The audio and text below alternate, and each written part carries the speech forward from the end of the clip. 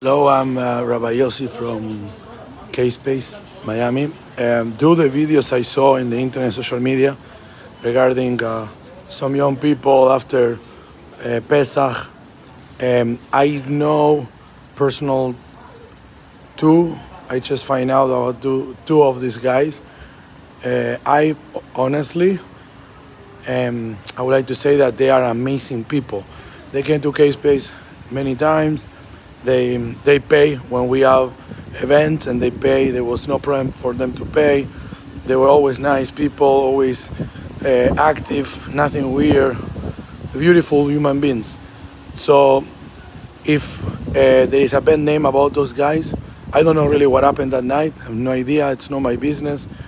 Um, but I can tell you about them. Those guys are amazing people, beautiful human beings and I don't want Hadasham Lo Aleinu because of this situation to make a bad name of them of themselves and to have a bad reputation. Elliot Hirsch and Yeshua Kahan, amazing people, and they came to Gatesville again many many times. Thank you.